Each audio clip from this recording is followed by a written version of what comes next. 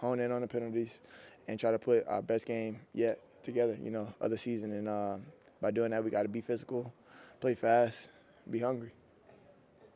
Mike being out, has that affected you guys uh, preparation wise? And did he talk to y'all via, via Zoom today at all? Or as far as preparation goes, obviously we got to take it, you know, personal. Um, we're still thinking about Mike as we go throughout these journeys and through meetings, and his presence is missed, of course. Uh, you know, he's normally the first face that we see when we walk in with the team meeting, but uh, we're praying for him. Obviously, keeping high hopes, and I'm sure we'll see him soon um, before the game, and then hopefully have him out there for the game. CeeDee, how important is it to have a connection with Dak, especially going to this week's game? Uh, it's very important. Uh, I feel like our connection is what's going to lead us um, offensively and kind of get us going again. And uh, I feel like it's, it's important on my end to be on his schedule and you know always be open, be available for the for the guys, and um, you know make big plays.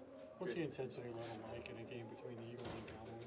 It don't change, but it's definitely it's obviously you know a lot riding on it. You know, um, you got to treat it as for what it is. It's a big game, but it's at the end of the day, it's still just a game. Um, taking it one play at a time, one moment at a time, continuing to drive, being better of my, be a better version of myself, and obviously put great reps together. In what ways does Dak kind of show that he, show his trust to you? Is it verbal? Is it actions? In what ways does he show it up? Plenty of ways. Um, whether it's you know throwing me the ball or talking to me on the sideline about what just you know transpired on the field. So. Uh, you know, that could lead up to points. So just having this continuing conversations, um, obviously looking to be better week in and week out, and then going into practice, whatever we feel like we could be better on, we go and fix it, and then on Sundays let it show. Because you guys have a good relationship, and you need to have one of those talks. Is it easier to have one of those heart talks about things? Absolutely. Um, I feel like it's much easier. Um, I can be as open it's open dialogue, and we understand that it's nothing personal. Obviously, we both want what's best for each other, and um, continued success.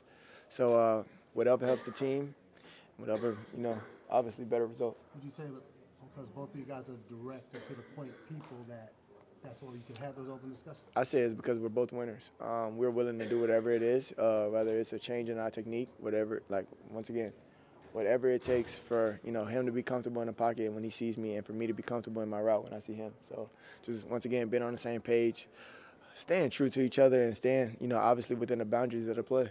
See, have you learned to see the game through a quarterback's eyes? Yes. Um, obviously, they have a lot going on mentally. They're thinking about a lot physically.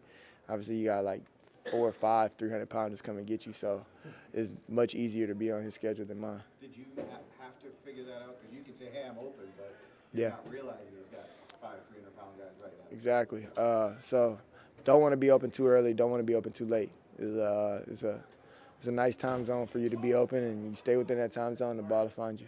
You guys talk about that 2.3 second threshold. What makes a good receiver after 2.3? Um, once again, creating creating uh, favorable matchups um, and always being available. I feel like if you're always open, it's easy for both of y'all, and um, I'm a firm believer in that. And I try to, you know, always be open.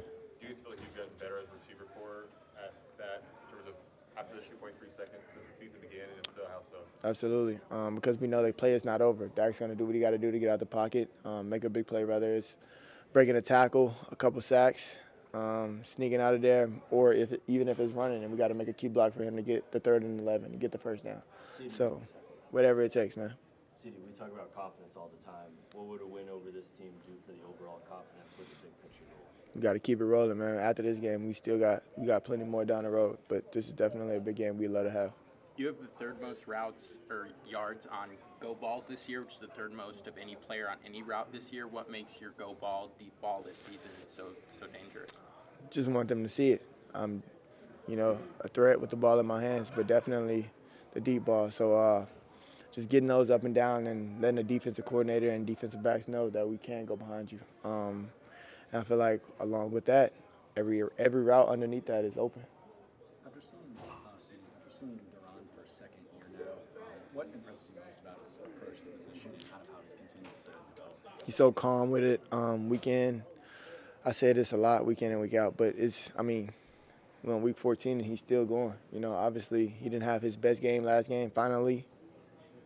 But, uh, you know, that's that's that's that's where the team come in. Um, you know, just building that camaraderie and playing together, relying on one one another. And um, yeah, no, DB he does a great job of you know approaching the game well and preparing. What's make you made you guys so invincible at home? 14 straight wins, 36 and a half points a game in that streak. Uh, quite honestly, I didn't even know. I don't know. Uh, I just know that we definitely protecting the house. you know, we want to put our best foot forward, of course, but uh, obviously don't want to let the fans down and having that ability to, you know, being home and we got to win in front of our fans. You talked to us a couple of weeks ago. You talked to us a couple of weeks ago just about being upset with what you saw, the attacks that Dak would have on social media, and and one of them now that he's doing well, it's like, well, but the big games, big. eh, Does that just?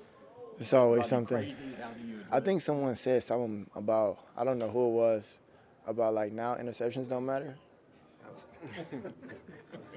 no comment to that, but it's just I mean Dak can't win for anything, but you know at the end of the day we got to do what we can, um, protect our quarterback of course, and you know make him look the best he's he can. And uh, as a team, we're definitely going to continue to do that, and we're going to work hard for it.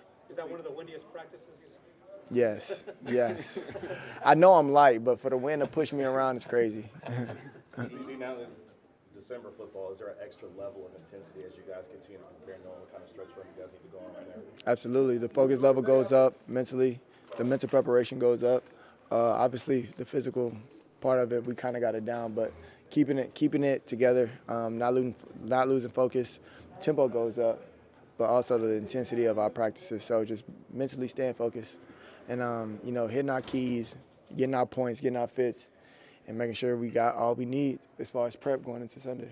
CeeDee, with you guys wearing those uh, white helmets for this game, in your opinion, what's the best Cowboys uniform? This one, this is my favorite one.